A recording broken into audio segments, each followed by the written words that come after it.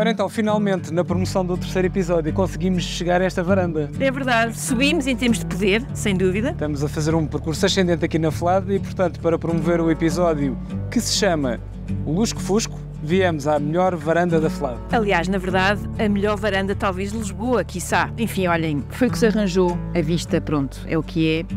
E está a pingar, portanto, é para perceberem bem o amor à arte.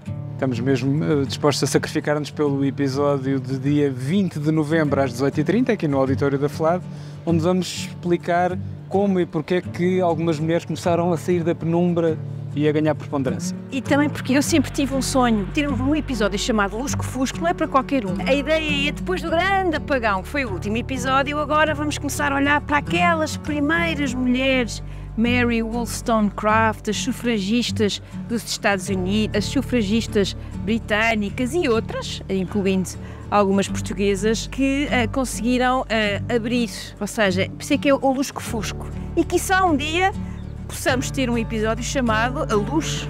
Pode ser. Vamos ver, esperem pelo futuro. Por enquanto, gravamos promos enquanto alguns vizinhos da FLAD podam, até dia 20. As Amigas de Eleanor um podcast da FLAD sobre histórias de mulheres extraordinárias. Ao vivo com Raquel Vaz Pinto e Pedro Vieira.